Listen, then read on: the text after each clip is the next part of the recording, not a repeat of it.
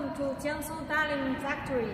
Uh, I'm Alice and uh, today I'd like to have a brief introduction of our uh, distribution transformers to you. And now we are in the workshop of our transformers and here is uh, our general type of the transformer. Now have a clear look at the nameplate of today our star. Look the nameplate uh, this transformer, the capacity is 500 kVA. The voltage, the high voltage is 10 kV. Okay, on the top.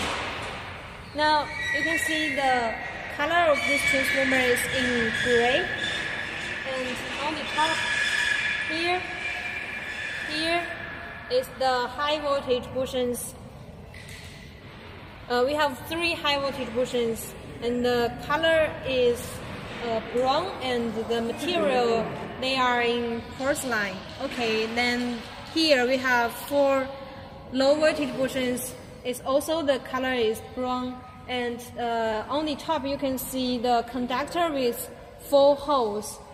Okay, on the top we have four lifting eyes, lifting eyes to lifting the whole transformer and, and then here's an oil indicator to indicate the, le the, level of the oil. You know, here, when the color is blue, it means, yes, the oil is enough.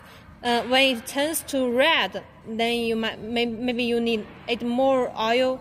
And here is the, on the top, is a press relief device. Okay.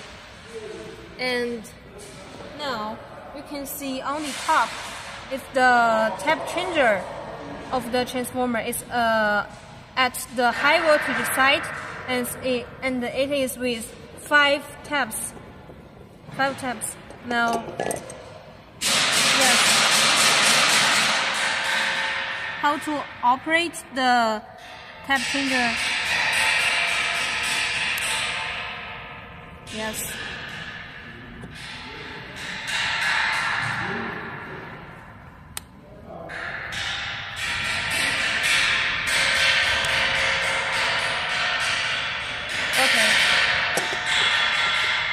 Then here, here. On the transformer side, four corners, there are the lifting lug, lifting lug also for lifting the transformer. And now, uh, yes, the sides are the radiators. And here you can see what kind of oil we use. What kind of oil we use in this transformer. We fill in this transformer. It's number 25. Number 25 oil. Okay.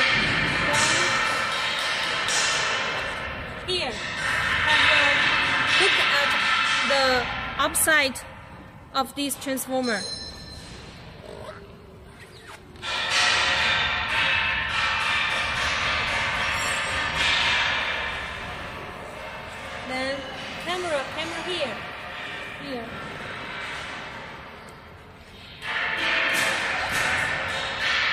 It's for uh, it's for the thermometer of the oil. Then maybe if you need, you can put a oil oil temperature indicator in this hole and down down here. we have a drain valve of the oil here you can see and this is for grounding here's a signal for grounding. At the bottom we have bases for the whole transformer. Then you can mount them on a concrete on the pole. Blah blah. Okay that's all